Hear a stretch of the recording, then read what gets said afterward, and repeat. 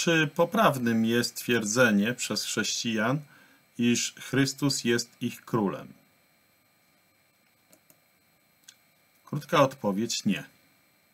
Nie jest poprawnym twierdzenie przez chrześcijan, że Chrystus jest ich królem. Nie, ani teraz, ani w przyszłości.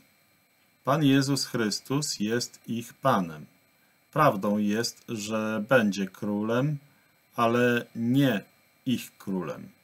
Członkowie rodziny królewskiej nie zwracają się do króla mówiąc Wasza Wysokość. Są królowi znacznie bliżsi niż wszelka inna osoba w królestwie.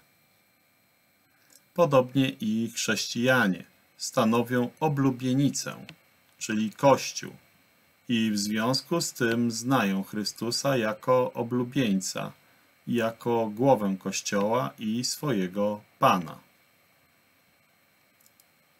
Jest to bardzo ważne, żeby to rozróżnienie rozumieć.